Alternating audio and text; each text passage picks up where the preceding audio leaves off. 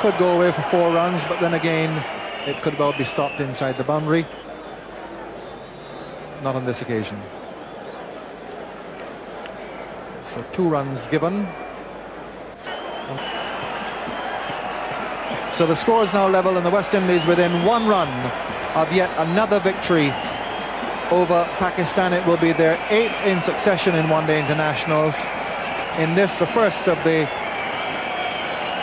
cable and wireless one-day series on this tour. Just a one needed now. And it's caught and bowled. What an anticlimax.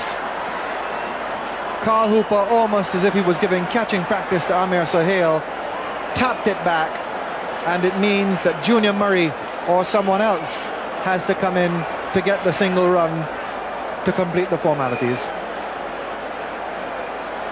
And we have seen this so many times before. Carl Hooper batting well, seemingly not in, in any trouble at all, and then look at that shot.